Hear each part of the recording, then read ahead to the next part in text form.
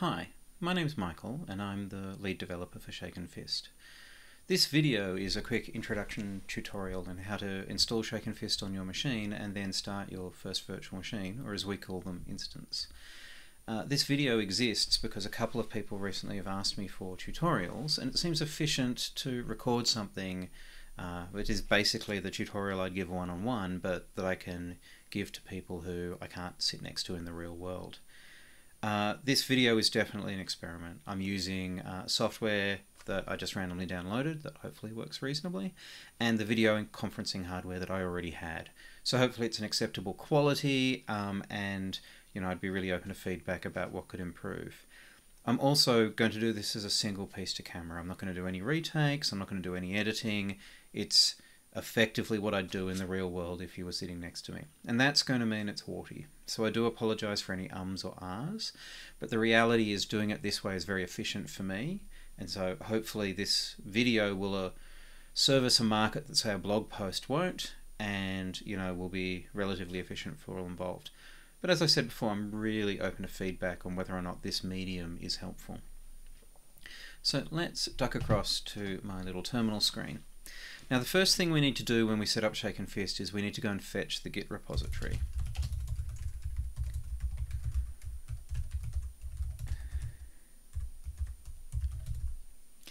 So, because I live in Australia, where the internet isn't the fastest it could be, and because it's evening on a weekend, uh, my local network is actually quite busy with people doing streaming video. So this will take a little while, um, but it gives me a chance to explain that in this demo, I'm going to install the latest released version of Shaken Fist from PyPI, but I still need the Git repository because it's where the installer lives. We don't package that separately or anything like that. Uh, the installer is composed of a shell script that calls Ansible and a set of Ansible plays that should look relatively idiomatic to someone who's used Ansible before. Uh, the shell script wrapper is mostly about providing some simple safety checks and calculating some values for you and things like that. Uh, unfortunately, my network is a little bit slow, so please bear with me. Ah, here we go. Cool. So we need to change into the install directory, which is deploy slash Ansible in the Shaken Fist repository. And now we're effectively ready to run the installer, but I'm actually fairly lazy. So what I do is I have these little helper shell scripts in a directory called sf deploys that help with the various installs that I regularly deal with. So in this case, this is my one for my local laptop. So here cloud is localhost. This is a shorthand for a Terraform configuration for setting up the hardware for the cloud. The localhost one just uses the local machine, but there are, for instance, Google Cloud and AWS and OpenStack and bare metal Terraform definitions that do slightly more complicated things. Um, I just use this relatively default admin password. Uh, please don't hack me. Okay, thanks. Um, and you need to specify a floating IP block. It is best if this is an IP block that is not in use on your network already, or you're going to have some really confusing routing. So it just so happens that this block is free on my home network. You can see here that uh, the release variable is commented out. That just means, hey man, use the currently released version from PyPI. If you were a developer and wanted to hack on Shaken Fist, you can use the name of any Git branch here. So to be Git colon the name of my branch, and the installer will, for any of the client repositories, look for that branch name there as well. Uh, and if it exists, use it. If it doesn't, it'll just use master. I turn off kernel shared memory uh, because it doesn't really make sense in an environment without lots of repeated virtual machines, and because it actually consumes about a CPU core scanning RAM looking for duplicates. And I don't have that many cores on my laptop. Uh, on bigger servers, like the 48 core machines um, I do most of my work on, I would turn this on because it's worth a core to save my, my RAM. Uh, there's a name for the deploy, Marvin's just the name of my laptop, uh, and then I turn off Gluster. You'll want to turn off Gluster because it's not actually released at the moment. In fact, these variables are ignored, so you don't even need to turn it off. Um, Gluster is a thing we're working on at the moment that might give us a nice shared block storage um, story. Some clouds call that volumes, but I still need to do some performance testing to see if the performance is good enough to be a thing that we release. Gluster is attractive though because it's extremely simple, unlike, uh, for example, Ceph or Swift. Uh, the other thing I should say at this point is that I'm using Ubuntu 2004. Uh, we support any Ubuntu after 2004. Specifically, 1804's version of libvirt is a bit old uh, and takes a different um, domain configuration format. So 2004 or later, please. Uh, when we add Gluster support, we'll be adding Debian support there as well because Gluster's a bit neutered on um, Ubuntu. But uh, for now, Ubuntu is what we support. So anyway, I'm happy with these values here, so I can kick off the installer. Before I do that though, I just want to show you the configuration of my networking on the machine. So it's a little bit complicated because it's my laptop and I have a Wi-Fi interface and a wired interface, but the Wi-Fi interface is actually turned off at the moment. I also have Docker installed and you can ignore that. There's no Docker in Shaken Fist. That's just there for other stuff that I do. Um, but I'm just showing you this as reference because I want to show you what sort of interfaces get created by Shaken Fist when it starts doing its thing. So now I can just run my little helper and this will in fact fail and we're going to pretend that this is deliberate and educational but it's a single take video and it very much wasn't. And the reason it should fail, that's really interesting, it didn't. Sorry, the reason it should have failed is because it needs me to prompt for my sudo password. Ansible wants to become root. I've obviously run something as sudo recently enough that it's still caching my password. Um, if you get prompted with a sudo error here, it's because Ansible can't become root, and you just do a sudo ls and then run the installer again, and you'll end up in the right place. Um, but we'll all pretend that that was really smooth and that I don't have to retake it because, like I said, this is going to be a single take video. Now, in my FOSDEM talk I did recently, I said don't install Shaken Fist on a machine you're fond of. To be honest, I'm quite fond of my laptop. The reality is, I say that because I wouldn't want you to do it on a production machine right now, at least not without testing. Uh, Shaken Fist reconfigures syslog, it um, installs system packages, it installs things in the system pip, um, it installs Grafana and Prometheus, and changes the kernel configuration by turning on and off KSM and things like that. Um, it turns out all of those things are actually relatively easy to undo if you regret them, but you wouldn't want to do it on a production server without testing. Probably the most invasive thing that Shaken Fist does is it does create a bunch of network interfaces on the box, and I'll show you those in a minute. But again, they're actually relatively easy to remove if you don't like them. You can just you know IP link del them. But if I show you now, so already we have some interfaces being created. Now in this case, um, let me just see what I'm looking for here. So this bridge is part of the routing structure for how traffic gets off virtual networks. And then this, uh, these interfaces here all relate to a virtual network that must be pre-existing. So if I go SF client, all right, I should explain how the client works first. Sorry. Again, single take video.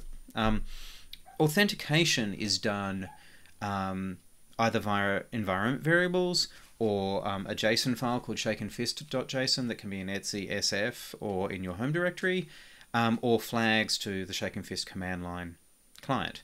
Uh, what we do when we install is we just provide you with this little RC file that provides the relevant authentication details. Uh, so this part sets up command line completion. Uh, this is a bit of a red herring. It's just a tweak to make sure that the etcd command line client uh, is talking the right protocol version, which is the thing you'd only ever do as a developer. You probably shouldn't be talking directly to etcd. And then these three lines are the magic that set up auth. So we're set up to talk the, to the system namespace, which is kind of the root admin namespace. Uh, we have a password to that namespace, and um, there can be more than one password to the namespace, so you could create a password per user, and as users enter or exit your organization, you could add and remove them.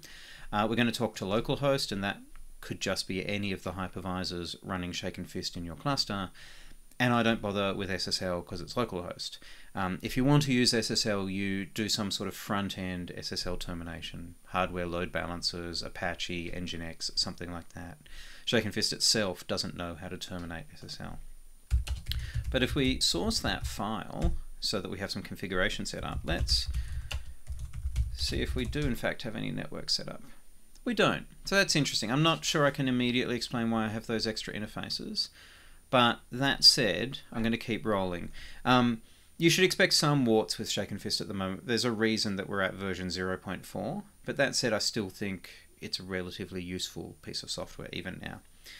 So to create my instance, I need to create a virtual network. So uh, SF client network create. I'm a pretty exciting guy, so I'm going to call my network Mikal. And you need to specify an IP block that the virtual network is going to use. In fact, 20 was our floating IP block, so we'll use 30. Um, and off it will go. Now here it's going to stay, for many of the objects in Shaken Fist you get a state.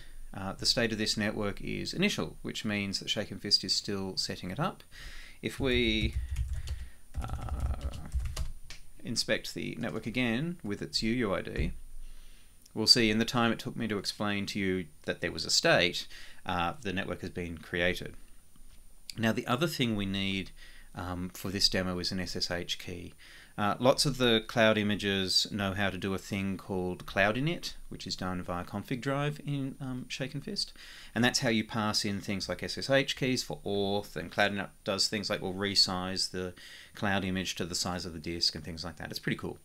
Um, there are a few cloud images that have hard-coded passwords. CirrOS is the most obvious option, but I want to use Ubuntu for this image, so I'm going to, sorry, for this demo. So I'm going to have to pass through an SSH key. So let's just quickly make one. And I'm going to call this ID testing with no passphrase. And now finally, um, after 12 minutes of video, we can create our first instance. So instance create, again, I'm going to call the instance Mikal because exciting guy. Uh, two CPUs, two gig of RAM. Uh, it needs a disk. Let's have a 20 gig disk and we'll put Ubuntu on it. This is shorthand. Normally this would be along the lines of 20 at and a URL to an image, but there's a shortcut language that for Ubuntu and CirrOS that lets me get away with this. Um, you can in fact specify um, a version of Ubuntu here as well, but I'm just going to go with the latest nightly build of the most recent Ubuntu. It would be pretty easy to add um, shorthand for other distros, but the reality is I'm an Ubuntu guy and CirrOS is there for testing, uh, so we haven't done that thing yet, but there's no real barrier to doing it. We need to specify what network the um, instance is going to be on, which is this UUID from earlier. Uh, we need to pass in uh, the public key that we're going to use for SSH authentication. It will end up in the authorized keys file uh, for the default user, which is called Ubuntu. And then we should be good to go to create the instance. Now, uh, the SF client's going to block here for, it's configurable, but it's currently set to 30 seconds, and it's going to try and um, create the instance. If it can't create it in 30 seconds, it will hand me back something that says that it's half done. But if it is created, then um, you know, we'll just get the results. Now, because this is a fresh install and there's nothing in the image cache, it's going to have to go and fetch the image. So this is going to take a few minutes because it's a 500 megabyte image, I think. So uh, there we go. Ah, yes, sorry. So after 30 seconds, it gives up and it just hands you back the current state of the image. So if we look here, um, it's in a pre-flight state. And we can, in fact, inspect further what's happening to the instance by asking for the instance events. Now this isn't going to render super great on a terminal this size, but there's a balance between font size and fitting this all in for a video like this. And so we can see here that Shaken Fist decided that it had to go and fetch the image and um, is now doing that thing. And if we were super patient, we can just do that thing over and over again, and eventually we'll end up with um, a completed uh, virtual machine fetch. What I might do, to be completely honest, is I'll pause the video here for a minute so that you don't have to sit here while I wait for a 500 meg download on my not particularly fast network, and then we'll um, come back once the download is finished. So hi, welcome back. Um, turns out I was a bit of a pessimist and that only took a couple of minutes, so let's have another look. If we look at the instance events again, you can see that we decided the image requires fetch, and we decided that at 8.23 and 16 seconds.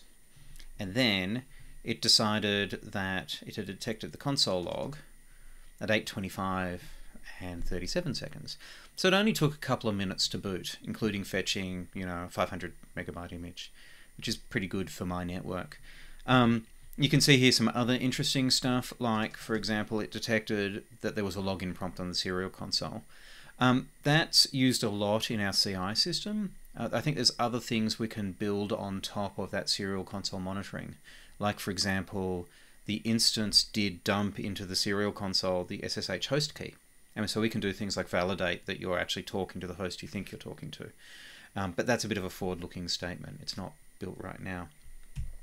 But if we go back and show the instance, you can now see that we have um, a network interface attached and that the state is created. Now the network interface is important here because I want to SSH to this um, instance. Now I can't actually do that from the network on the laptop. The virtual network is off in a network namespace and detached from me um, and I can bridge through to it. So the way we do that is by assigning a floating IP to the virtual machine. So SF client instance, sorry, interface float and the UUID of the interface. Now the UI here isn't the best. If we go back and we refresh our view of the um, instance, we can now see the IP that's been assigned, which is this floating IP here. So finally, after all that, um, if I could spell SSH, we can say I want to log in with the SSH key. Um, the user ID set up by the cloud image is called Ubuntu. Um, and this IP address. Ah, I have apparently previously been assigned this IP address. Uh, so let's just clean that up and we'll SSH again. So yeah, looks like a host key to me. There's actually not a good way at the moment to verify, verify these host keys apart from inspecting the serial console. So we'll just log in and we're now inside the VM. There are a couple of things I probably should have talked about when I explained the network creation, by default you get um, a DHCP server that will only respond to MAC addresses that Shaken Fist has assigned, and you get um, a NAT gateway. So once I'm inside the instance, even without a floating IP, I can do things like fetch packages from the internet. You can turn both of those off, but they have reasonable defaults. But you know, I can now do a dist upgrade on my brand new VM, for example. Now, there's lots of other things we could talk about in a video like this. Like, you know, how once I've set up the instance and I'm kind of emotionally attached to its state, I can take a snapshot so that next time I can start it from that state. Or how I can, in fact, get to the serial console output via the API. Uh, and we could talk about the auth scheme and um, the tagging metadata system we have and lots of stuff like that. But the whole point of this video is to be an intro to get you to the point where you're inside your first um, virtual machine. And I feel like this is a reasonable point to wrap up. So, just at the end, look, like I said, this is an experiment. It's deliberately a little bit rough and warty. I said single take. In the end, I sneakily paused in the middle, but you know, you get the basic idea. So I'm very interested in feedback about this is a if this is a meaningful use of my time and your time, and if these are useful. Uh, that can be a comment on the video. You can email me. Uh, you can you know, tweet at me, whatever works for you guys. But, you know, thanks for coming along on the ride and thank you for being interested enough to get this far. Uh, you can find out more about Shaken Fist at shakenfist.com and all of the source repo repositories are at github.com slash shakenfist. Thank you.